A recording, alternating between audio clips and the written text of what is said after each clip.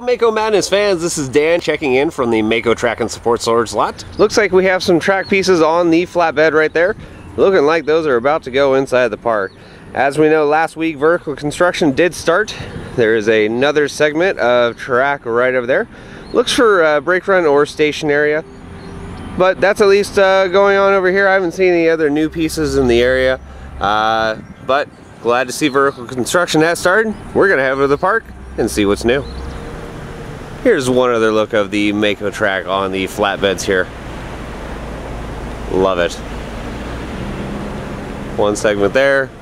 The other one is right there. Heading over very soon.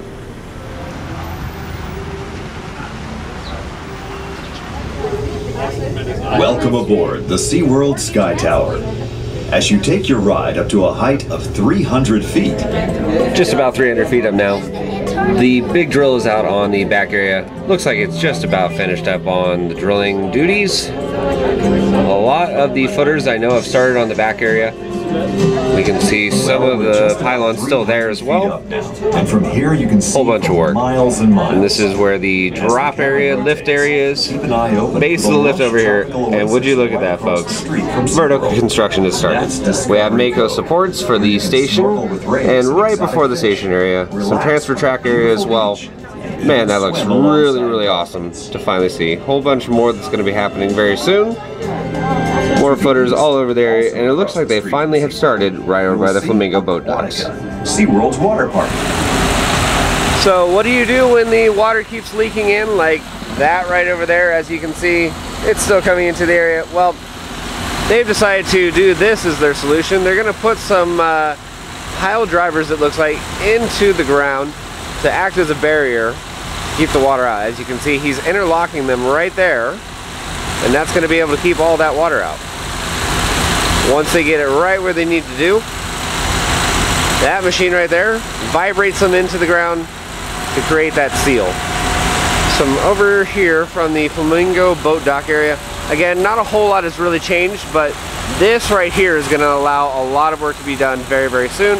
They still have the pumps going. Uh, rebar is actually on site over here, so it looks like they're going to try to get the footers done very, very, very soon here.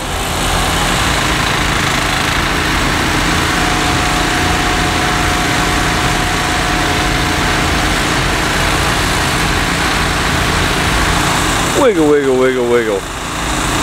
Wiggle, wiggle, wiggle, wiggle.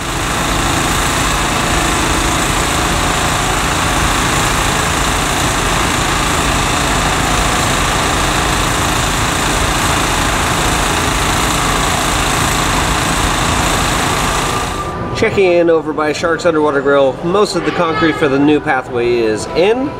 And as we can see from the Sky Tower and uh, some of the photos I took, a uh, giant shark is still there, not filled in with the concrete, but just looking around the area, most of the other concrete is in.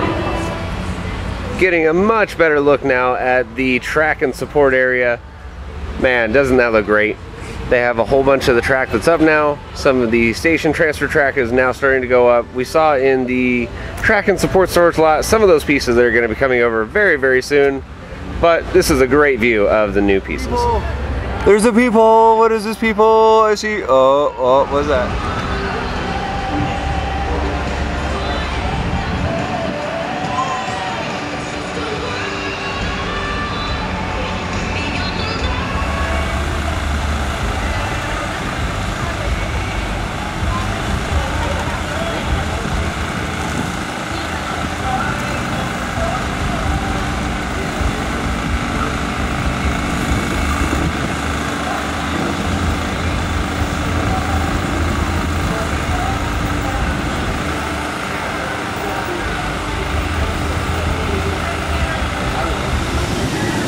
Well, guys, that is going to do it for our Mako update.